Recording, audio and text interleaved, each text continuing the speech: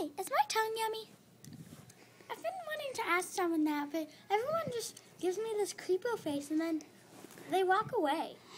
Lammy, people think you're a freak. Why? No, no, no, no, oh, oh Lammy! No, not in public, Lammy! Sorry. Well, Lammy, people think you're a freak because you're kind of dumb.